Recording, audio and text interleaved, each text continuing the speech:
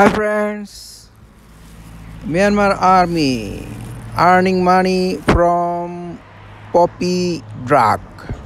They sell it to other countries nearby Myanmar as like Bangladesh, India, China, Laos, Vietnam, Thailand and other country also they sell they export poppy drug.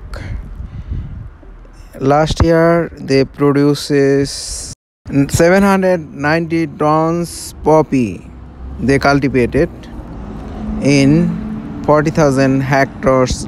Earning from poppy is the great source of money for the myanmar military they use that money for fighting others ethnic to destroy their houses.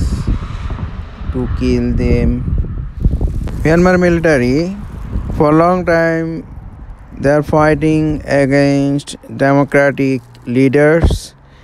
They are sending democrat leaders in prison for all the rest of life. They sent in jail lady leader Aung San Suu Kyi for seven years, and the president of Myanmar, Mr. Win Myint, who is 71 years old, sent to jail for 12 years for the false allegation and his family members are not with him.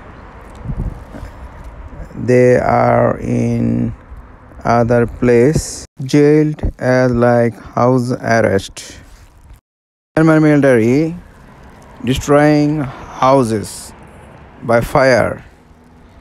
They destroyed everything of the civil people of Myanmar.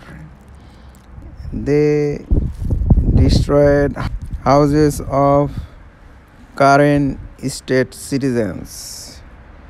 Ten villages they did empty. Myanmar military threw 30 bombs in Mindat township of Chin state. They destroyed houses of non-Buddhist. They destroyed houses of civilians. 12,000 people lost houses. Friends, take care. Bye bye. Good luck. Best of luck.